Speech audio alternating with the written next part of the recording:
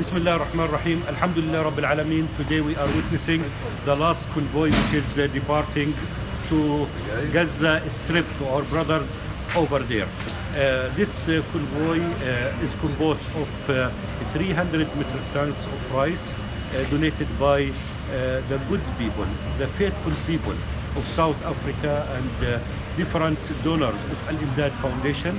Jazakumullah khair. Whatever you are doing is really highly appreciated by our brothers in uh, in Gaza and in Palestine. Alhamdulillah Rabbil Alameen, this is a very vital project whereby the people they will be benefited from the basic commodities which is required in uh, in Gaza Strip and in Palestine. We are uh, extending the hands and the dua for every person who contributed and we say Jazakumullah khair for this uh, huge contribution and huge work. May Allah reward you Jannat al-Firdaus.